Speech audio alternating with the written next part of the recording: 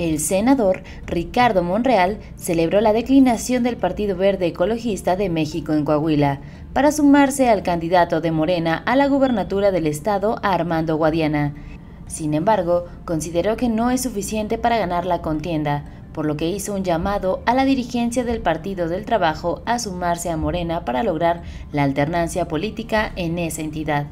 Ojalá, y en estos cuatro días que restan del proceso electoral para realizar los actos proselitistas, pueda el Partido del Trabajo dejar a un lado la aspiración personal y sumarse a la candidatura de Morena, señaló Monreal, luego de dar a conocer que este sábado los dirigentes del Partido Verde Ecologista de México anunciaron su declinación para respaldar al candidato de Morena, Armando Guadiana.